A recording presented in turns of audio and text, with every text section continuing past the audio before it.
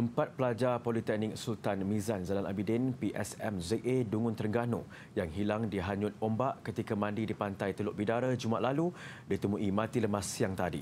Operasi mencari dan menyelamat selama hampir 48 jam menemui mayat terakhir iaitu Muhammad Amir Izzuddin Zulkifli 21 tahun kira-kira jam 3 petang tadi. Pasukan penyelamat menemui mayat pertama Muhammad Zulfahmi Zuki, 21 tahun jam 7.30 pagi tadi. Mayat ditemui terdampar di pantai Teluk Lipat, kira-kira 2 km dari lokasi kejadian. Manakala mayat mangsa kedua Muhammad Ikwan Ahmad Azhan berasal dari Kuala Terengganu ditemui jam 11.35 pagi tadi, terapung di laut 1 km dari penemuan mayat pertama dan kira-kira 8 km dari lokasi kejadian. Mayat Muhammad Lokman Ar-Rashid Muhammad pula ditemui jam 12.09 minit tengah hari, kira-kira 1 km dari penemuan mayat kedua. Mayat Muhammad Amir ditemui terapung kira-kira 2 batu nautika dari Kuala Dungun sebelum dihantar ke unit forensik Hospital Dungun. Allahyarham Muhammad Amir Izzuddin yang aktif dalam sukan silat dijadual mewakili negeri Melaka ke Sukma Johor pada Julai depan.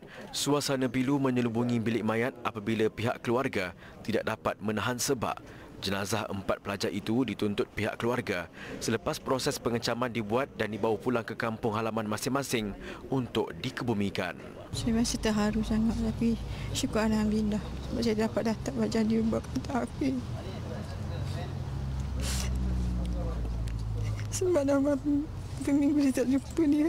Yang buat pengecam, pengecaman tu anak saya yang kedua. Mana dia dia lagi rapat dengan adik dia ni yang yang arwah ni. Jadi dia dapat di ada tanda-tanda dekat badan dia lah. Mana tanda-tanda tompok hitam tu, mana tak, macam tak lalat lah. Uh, uh, dekat punggung. Mana dia buat pengesahan lagi seluar yang dia pakai tu, memang seluar abang dia dia pakai. Masa dia, dia bawa mandi tu. Dah, syukur dah, dah sampai masa dia. Jumaat lalu kegembiraan enam pelajar PSMZA Dungun bertukar tragedi apabila empat daripada mereka lemas di pantai Teluk Bidara seberang pintasan Dungun.